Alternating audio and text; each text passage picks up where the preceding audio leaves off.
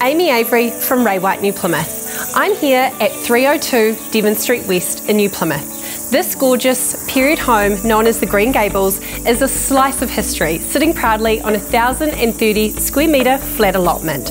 Prepare to be impressed with this truly special home. Let's go and check it out.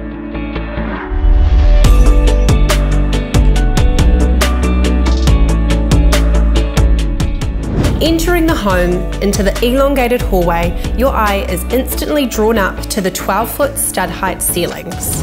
The master suite is exquisite and includes Stratford hotel doors repurposed into panelling behind the bedhead. There is a walk-in wardrobe including built-in storage, a shoe polishing station and an inbuilt ironing board. All four bedrooms are of generous size and are evenly spaced down the hallway, featuring beautifully crafted LED light hanging light shades. The formal lounge is a grand space, hosting an open fireplace. This room leads straight through a wonderful archway to a space created perfectly for a study or simply a lovely craft or sitting nook.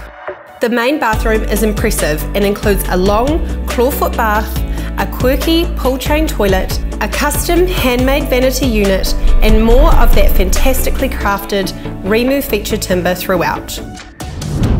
The Rimu kitchen is central with a gas stovetop, new dishwasher, sun tunnel above, and endless amounts of storage. The kitchen, dining, and informal living area is open plan, hosts more lush Rimu panelling, and there are strategically placed windows to capture the natural light showcasing so much craftsmanship and located a stone's throw from local cafes, schools, New Plymouth CBD and our coastal walkway.